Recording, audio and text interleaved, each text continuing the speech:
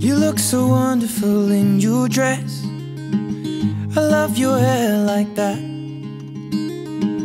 The way it falls on the side of your neck, down your shoulders and back. Rachel, you are my best friend, my partner for life, and now my wife. I love how everywhere you go, you make it better because of who you are. I love how you inspire people to greatness. I love you for who you are. And I also vow to celebrate you as you continue to grow and pursue God's calling on your life. Times may get rough, but I will be there with you and for you. So in love,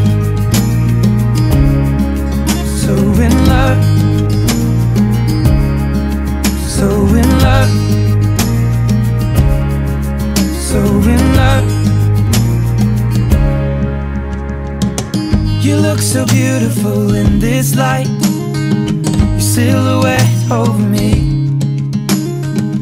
The way it brings out the blue in your eyes is the Tenerife Sea.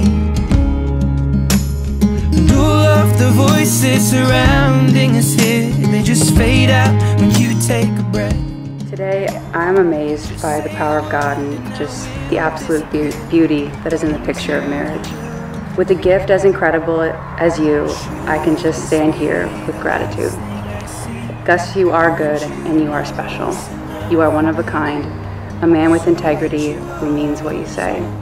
I can't walk this road of marriage in my own strength, but by God's grace and power working within me, I desire to be trustworthy as your wife by following your leading as unto Christ, loving, serving, and choosing you.